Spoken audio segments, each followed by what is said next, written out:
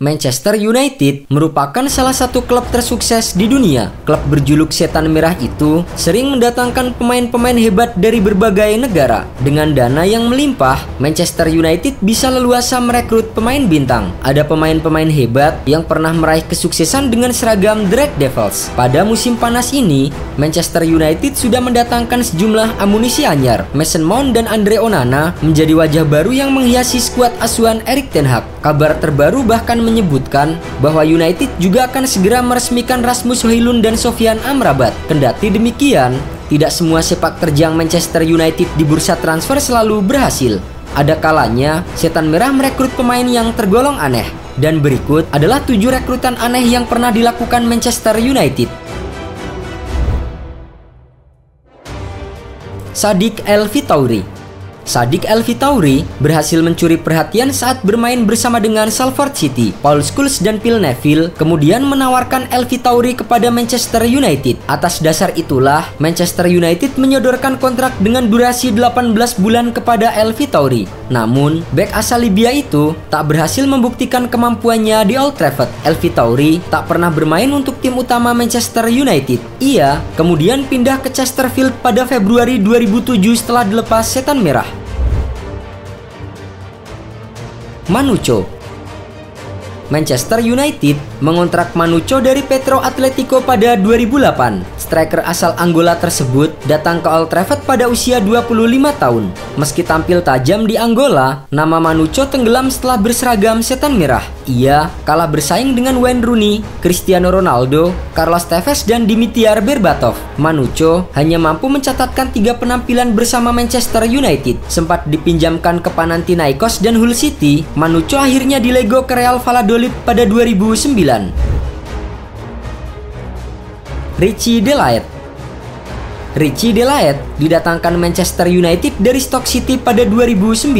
Transfer ini dianggap aneh karena back berpaspor Belgia itu sama sekali tidak pernah bermain untuk stok. Delaet tak mampu menemukan tempat reguler di tim utama Setan Merah. Empat tahun berkarir di Old Trafford, Delaet hanya mendapatkan kesempatan tampil sebanyak enam pertandingan. Setelah dipinjamkan ke beberapa klub, Delaet resmi meninggalkan United pada tahun 2012.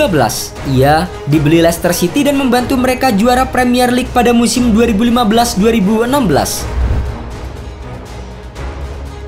BB Manchester United mengontrak BB dari Vitoria de Guimaraes pada tahun 2010. Transfer ini terbilang cukup aneh mengingat Sir Alex Ferguson tak pernah melihat aksinya secara langsung. BB gagal total di Manchester United dan bahkan hanya menjadi bahan olok-olok. Pemain asal Portugal itu hanya bermain sebanyak tujuh kali pada musim pertamanya. Setelah itu, BB tidak pernah tampil membela Manchester United dalam tiga tahun berikutnya. Ia menghabiskan sebagian besar waktunya dengan status pinjaman sebelum dilepas permanen ke Benfica.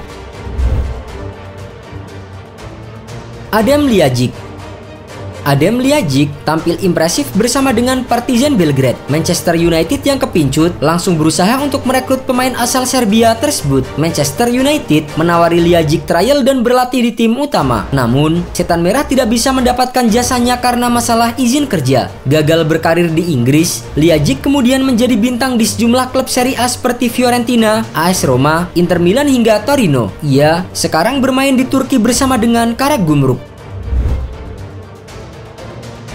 John Obi Mikel. Pada tahun 2006, Manchester United mendatangkan John Obi Mikel dari klub Norwegia Lyn. Pemain asal Nigeria itu sempat berfoto mengenakan seragam setan merah. Namun, Mikel justru tidak pernah bermain untuk Manchester United. Chelsea berhasil menikung sang pemain dari setan merah. Chelsea bahkan harus membayar sebesar 12 juta pound sterling kepada Manchester United sebagai kompensasi atas kasus tersebut. Mikel kemudian berkarir selama 11 tahun di klub London ini. Andy Kellett. Andy Kellett sejatinya masih belum banyak bermain untuk Bolton Wanderers. Namun, Manchester United memutuskan untuk meminjam sang pemain pada Januari 2015. Kellett tidak bisa menolak tawaran bermain di klub sebesar Manchester United. Namun, pemain yang berposisi sebagai gelandang tersebut tidak pernah mampu menembus tim utama. Setelah menjalani masa peminjaman selama enam bulan, Kellett kemudian dipulangkan ke Bolton. Ia sekarang memperkuat tim divisi 9 sepak bola Inggris Bari